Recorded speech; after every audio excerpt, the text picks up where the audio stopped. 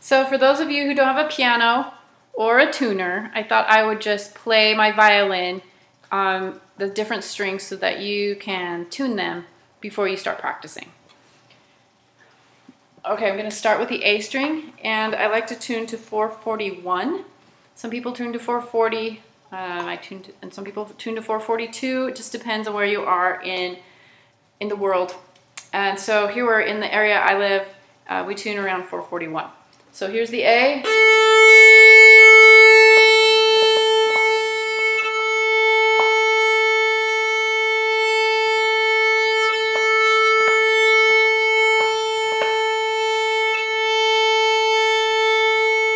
Just make sure you listen.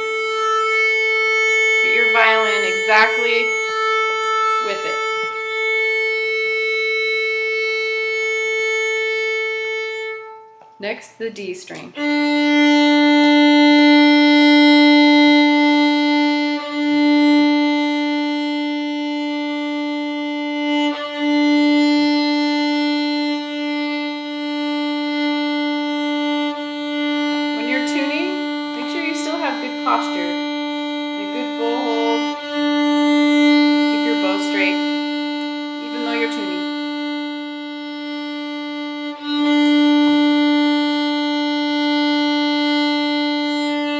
G.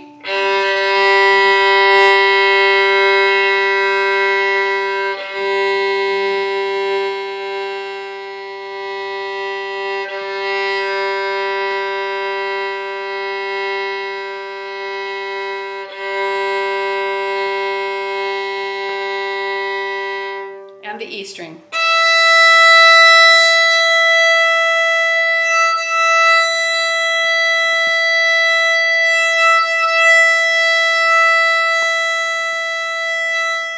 Now, if you don't have a piano, like I actually don't have a piano, but I have perfect pitch, so I can get away without it.